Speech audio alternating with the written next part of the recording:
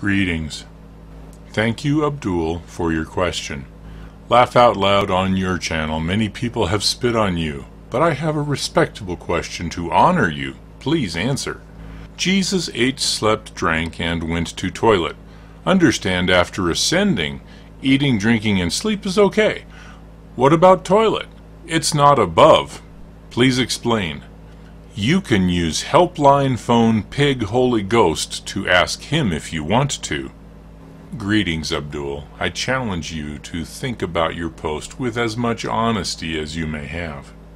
Contrast the claim of respectable question and the insult to the Holy Ghost of Yahweh, God. Brother, your disrespect for God, your Creator, is a great example of the heart of Islam. And one word about spitting. I follow God, and those who spit on God's message make their own eternal beds. You too must make a choice, Abdul. Obey one man alone who teaches you to spit on the prophets and their message, or respect Yahweh God, your Creator. It has been a few years since someone raised the Jesus pooped jihad, and you do it shouting in all capital letters. The Jesus pooped jihad is the ignorant Islamic argument that poop is bad and Jesus ate, so Jesus pooped. Therefore, Jesus cannot be God. I will overlook that Allah swears by poop, and Allah swears by toilets and Allah swears by every unclean thing. But I tremble in fear for you, brother, because you insult the Holy Spirit of God, even in your ignorance of Islam. Still, I will answer your jihad with the truth, and pray that God will open your ears to hear the truth.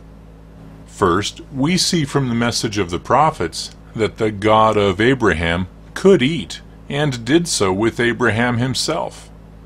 Genesis 18:1 And Yahweh, the Lord, appeared unto him in the plains of Mamre, and he sat in the tent door in the heat of the day. And he lifted up his eyes and looked, and lo, three men stood by him. And when he saw them, he ran to meet them from the tent door, and bowed himself toward the ground, and said, My Lord, if now I have found favor in thy sight, pass not away, I pray thee, from thy servant.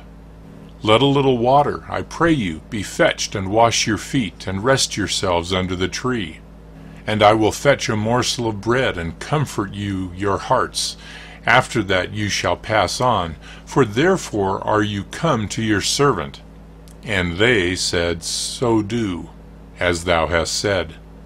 And Abraham hastened into the tent unto Sarah, and said, Make ready quickly three measures of fine meal, knead it, and make cakes upon the hearth. And Abraham ran into the herd, and fetched a calf tender and good, and gave it unto a young man, and he hasted to dress it. And he took butter and milk and the calf which he had dressed, and set it before them. And he stood by them under the tree, and they did eat. They ate, and they drank water.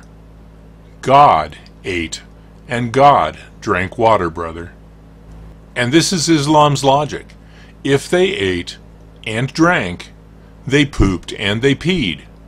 But Prophet Moses began by revealing this is God visiting Abraham. And Yahweh, the Lord, appeared unto him in the plains of Mamre. This is what Prophet Moses recorded in the Torah that those in Islam claim to respect. Islam trains you to say you respect what Prophet Moses revealed in the Torah. Then Islam trains you to deny what Prophet Moses taught. You should give that serious thought, Abdul. Why claim respect for Moses, then deny his message? When you say one thing, but really believe the opposite, Islam has made you a hypocrite. Beyond that, brother, we find in the message of the prophets that God prepared a body for the Messiah to use while he walked the earth. Hebrews 10:5 Therefore when he, this is speaking of Messiah, comes into the world, he says, Sacrifice and offering you have not desired, but a body you have prepared for me. Preparing a body for implies the one is separate from the body that is being prepared for them. Yahweh God needed to prepare a body for Messiah because the Messiah was and is an eternal spirit who existed with God before the world was created. This is why Messiah prayed the following as he was preparing to finish his earthly time and be sacrificed on the cross. John 17:5 And now, Father, glorify me in your presence with the glory I had with you before the world existed. Messiah existed with God and shared God's glory before the world was created. John 1 1 In the beginning was the Word, and the Word was with God, and the Word was God. The Word became flesh and made his dwelling among us. We have seen his glory, the glory of the one and only Son from the Father, full of grace and truth. So, yes, Abdul, when Messiah, who is God, lived on the earth, he required a physical body for his spirit to dwell in. And in a body, his physical body required food to grow and live, as do all physical bodies. But he, the Messiah, is not the body, but the spirit that lives in the body.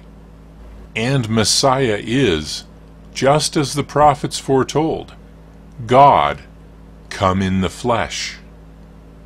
May the Spirit of God open your eyes to the light, your ears to the truth, and your heart to His Son, the Lord Jesus Christ, the Messiah.